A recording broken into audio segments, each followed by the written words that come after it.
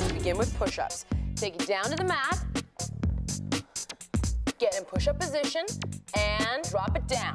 One, two. Nice. Now, let's come over here and take a look at Anita.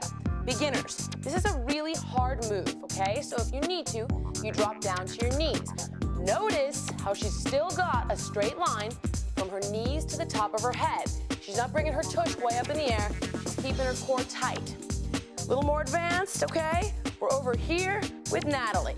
Hands are 90 degrees, abs are tight on the balls of her feet. We're gonna do two more, girls. Hit it. Last one, take it down, bring it up. Back up, come on, chop, chop, ladies, chop, chop.